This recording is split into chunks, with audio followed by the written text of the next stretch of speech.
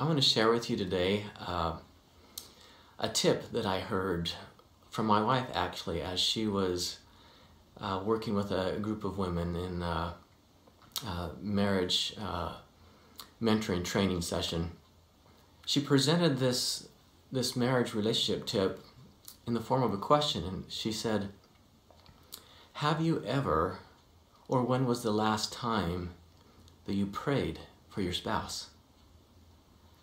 And the reaction was like, well, initially it was crickets, you know, or deer in the headlights.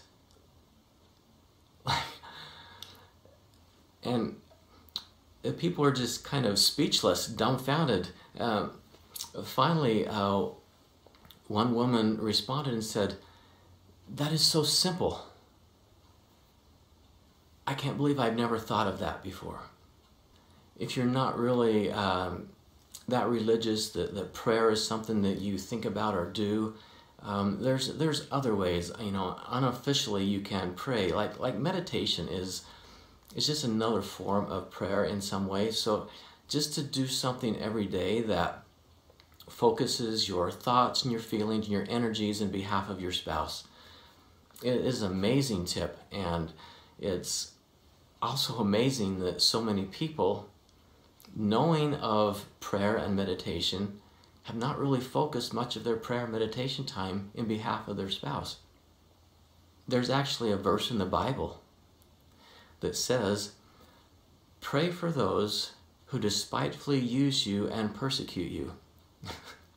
now, I feel sorry about this, but uh, I think a lot of us have experienced uh, in our relationships that our spouse sometimes fits that category.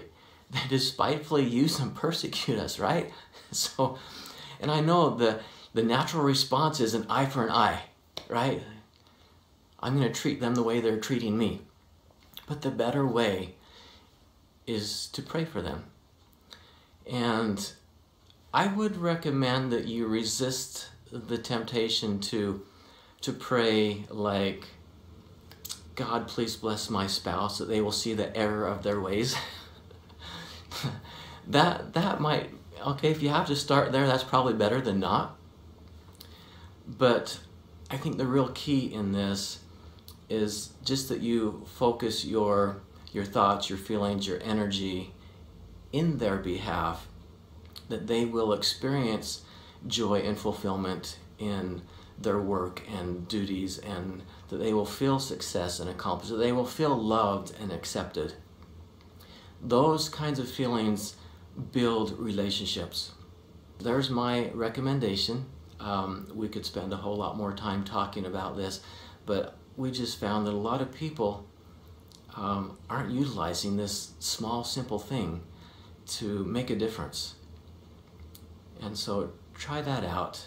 Um, spend a little bit of time every day focusing your thoughts and your feelings and your energies that and, and you'll find that it's it more than changing your spouse because we know that you can't change someone else.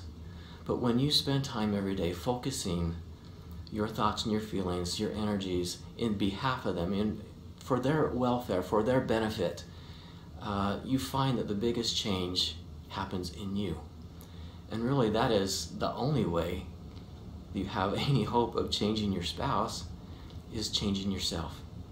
So try the small and simple thing of, of praying for your spouse and just take note of how you feel, the difference that it's going to make about how you feel about your spouse uh, when you can focus your prayers in their behalf.